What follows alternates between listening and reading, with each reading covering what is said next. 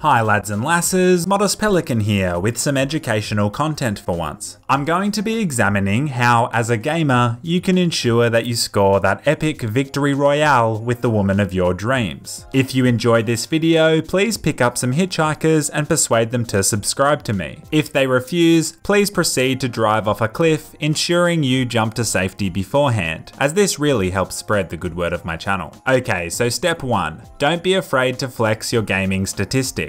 I've said it before, and I'll say it again. There is quite literally nothing in this world that girls love more than a high kill death ratio. If you don't have a high kill death ratio, I would recommend playing much more and training harder to ensure you get a KD high enough to impress girls. So for example, a girl might say to you, Hey there, what are you up to? And you should reply with something like, My KD is 3.4. I am a mother beast. And she will reply with something like, Oh wow, your kill death ratio is 3.4. That really turns me on. Here's my number. Step 2. Ensure to wear your gaming headset around wherever you go. Society has tried to tell us that hitting the gym, nice clothes, or perhaps a clean haircut is what girls find attractive. When in reality, it's time to throw out the Rolex and put on a pair of Turtle Beaches. I actually discovered by mistake that sound whoring isn't the only benefit to wearing a headset. The other day, I went out to a shopping centre and forgot to take my headset off. And that's when a group of Swedish supermodels all came up to me and said they wanted to come back to my place as I was clearly an epic gamer. I shouted as loud as I could, Can I get a GG in the chat, boys? And then everyone dropped their shopping bags and clapped. So yeah, definitely wear a headset wherever you go. Step 3. Teabagging is always funny. Teabagging has typically been reserved for showboating in video games. It is the act of rapidly squatting up and down like a slav with crabs on an enemy's corpse as a way of taunting your helpless opponent. But how can we use this timeless and dare I say sophisticated anecdote when finding love? Well, they say the way to a woman's heart is by making them laugh, and so I advise that you just walk straight up to them and start teabagging the ground repetitively right in front of them. They will instantly see that you are a light-hearted gentleman and a scholar, and will burst into infectious laughter.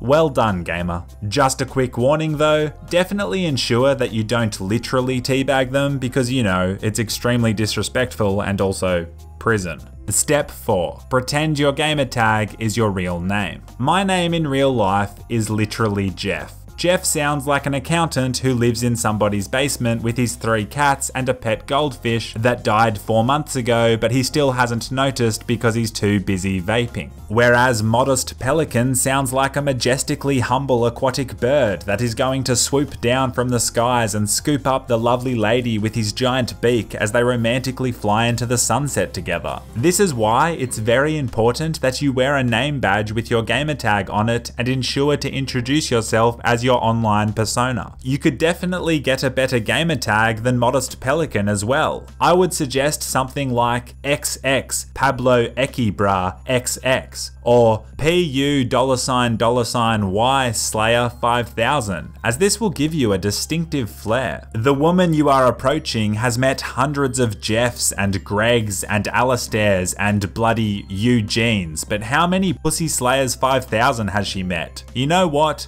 Probably not that many. Step 5. There's no better foreplay than split screen co-op. So I'm assuming you have used some, if not all, of the first four steps and now have a lucky lady in your private company. Now the Cosmopolitan magazines or Men's Fitness or whatever media hands out dating tips will try and tell you that you should spend hours cooking a romantic dinner or perhaps offering a massage as this is a great way to break the touch barrier in a relaxing way. Well this is complete and utter bullshit.